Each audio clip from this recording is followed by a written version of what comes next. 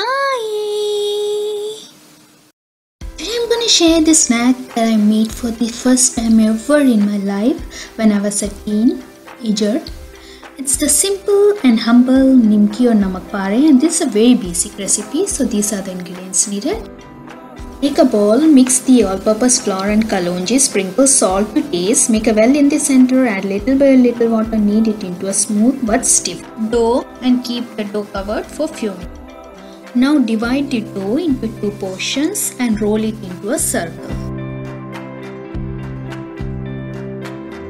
Now it's time to dissect the circle. Just cut the circle crisscross, first cutting it vertically all over and then diagonally, just like this.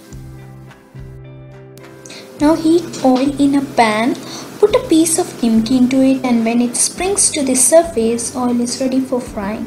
So put the nimki slices one by one, flipping in between and fry them on medium to low flame until it slightly changes its color.